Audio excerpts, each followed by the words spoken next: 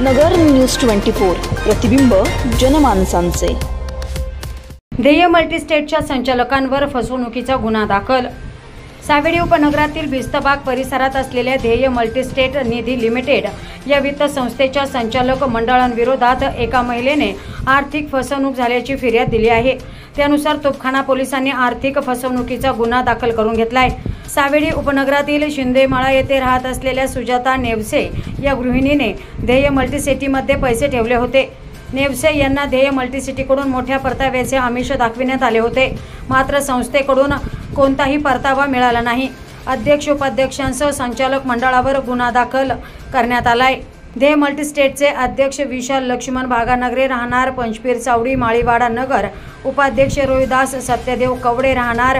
गुलमोर रस्ता सावेडी नगर.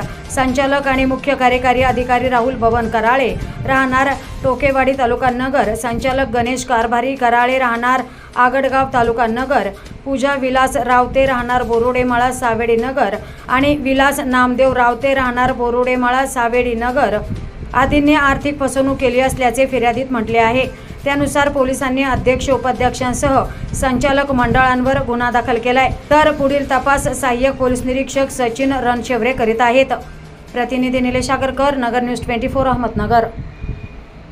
अशाच महत्त्वाच्या बातम्या जाणून घेण्यासाठी नगर न्यूज ट्वेंटी फोरला सबस्क्राईब करा.